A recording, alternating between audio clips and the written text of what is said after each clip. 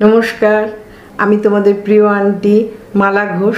তোমরা দেখছ zero watt kitchen. আজকে তোমাদের জন্য একটা বিশেষ রেসিপি নিয়ে এসেছি।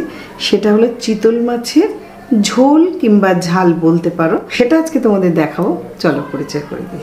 এইটা হলো চিতল মাছ। এখানে বড় বড় তিন পিস আছে। এটাকে যদি ভাগ করা যায়, তাহলে দুই দুই, চার দিয়ে ছ পিস হয়। যেহেতু আমি এটা তোমাদের দেখাবো, বেশ একটু বড় করে রান্না করে, ঝোলটা করে দেখাবার জন্য আমি এটাকে পিস করিনি।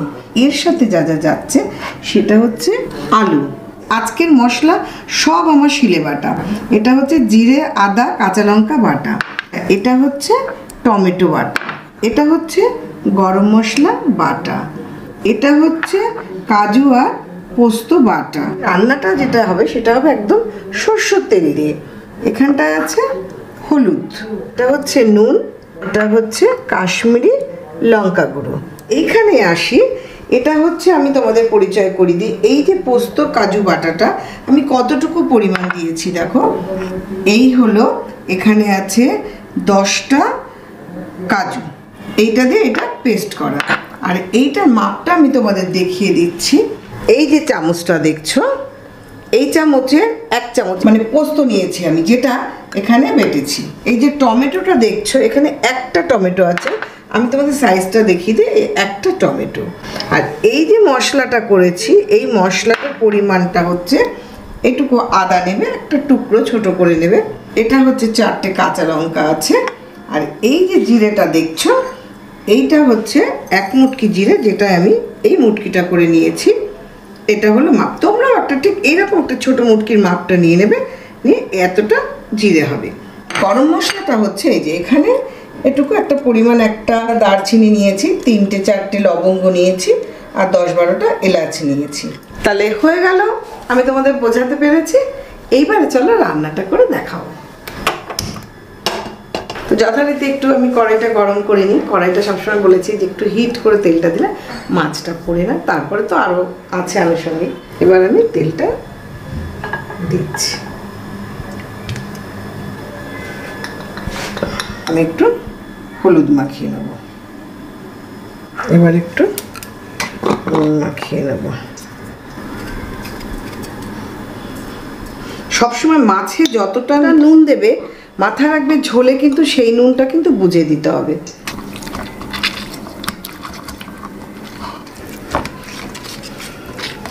আমি একটু কড়ার মধ্যে একটু নুন ছড়িয়ে দেবো। আমি কড়ার মধ্যে একটু নুনটা ছড়িয়ে দিলাম। কারণ তোমরা সবাই জানো, আমি বলেই দিয়েছি অনেক আগে তাহলে মাছটা লেগে যায় না।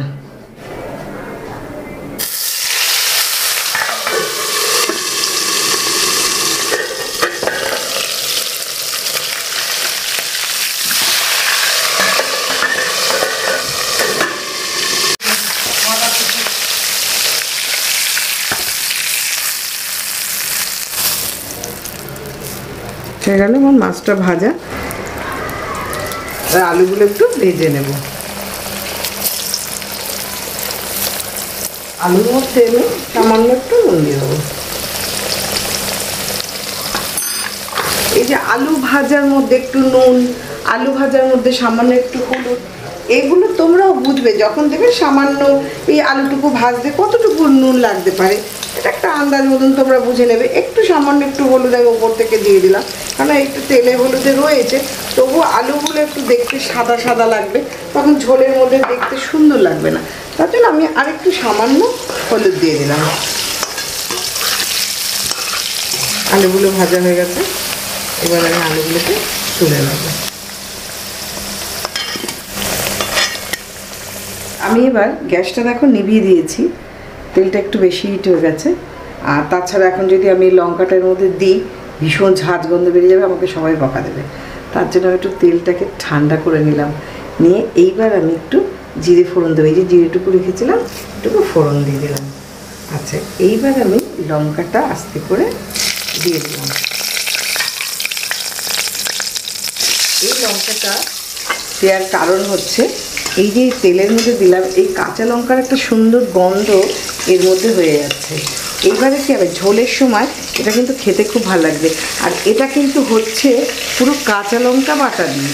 আমি শুধু তোমাদের কাছে লঙ্কাটা শো করেছি, কাশ্মীর লঙ্কাটা, যে এটা একটু রং করার জন্য, একটু দেখনাই হবে।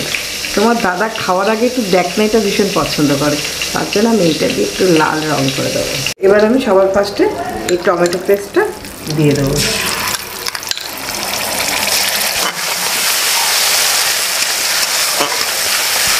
আমি এই মাছের ঝোলে কিন্তু আজকে তোমাদের বলেছি, সম্পূর্ণ সব মশলাটা আমি শিলে পেস্ট করেছি। শিলে পেস্ট করেছি এই কারণে এটা হচ্ছে জিরে, আদা, কাঁচা লঙ্কা, বাটা।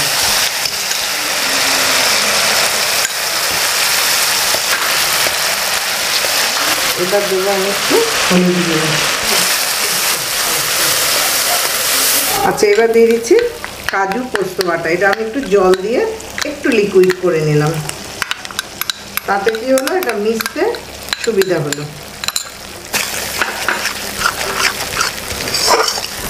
এখন আমি খানিকটা গরম মশলা বাটা। এর মধ্যে দিয়ে যাতে থাকব। এবার আমি এক চামচ কাশ্মীরি লঙ্কা গুঁড়ো দিলাম।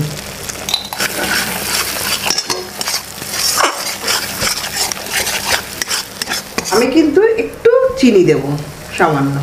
কেননা এটা দেওয়ার একটা বিশেষ কারণ হচ্ছে যে মাছের ঝোলটা যখন করা হচ্ছে, এই যে একটা নোনতা নোনতা ভাবটাই থেকে যাবে। কিন্তু তুমি যদি একটু মিষ্টি ছড়িয়ে দাও, ওই নোনতা ভাবটা কেটে যায়। আচ্ছা আমি একটু সামান্য জল দিয়ে এইবার এর সঙ্গে আমি আলুগুলো দিয়ে দেবো।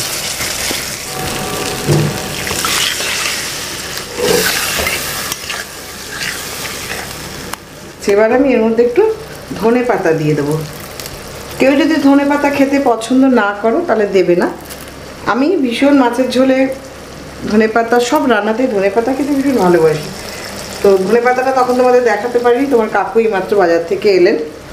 যার জন্য আমি ধনে পাতাটা এখন ব্যাগ থেকে বের করে নিলাম।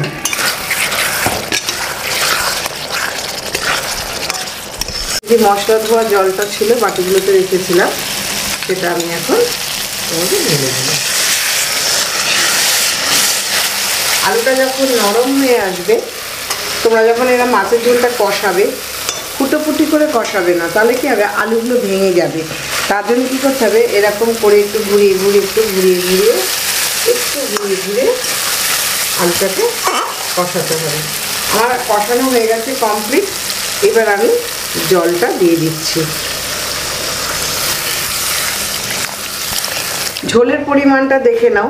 তিনটে মাছের জন্য জলটা যথেষ্ট ঠিকঠাক। এইবার ঝোলটা একটু ফুটে উঠবে। আমি তারপরে এর মধ্যে মাছটা দেব। কারণ যদি এখন মাছটা দিদি, মাছটা ভেঙে যাবে। জলটা এখন সবে অ্যাড হয়েছে, জলটা এখন পাঞ্চা আছে। এইবার কি হবে? এইটাকে ঠিকঠাক জায়গায় আনতে গেলে তখন মাছটা বেশি ফুটে যাবে, তখন মাছটা ভেঙে যাবে। এবং আমি এটা কোনো ঢাকা দেব না। এটা যদি এখন ঢাকা দিই, এর তলায় পুরো তেলটা ভর্তি হয়ে যাবে মানে অর্ধেক তেলটা এর মধ্যে উঠে যাবে। তার জন্য কি হবে? এটা এখন আমি এরকম আলগা রেখে ফুটিয়ে নেব।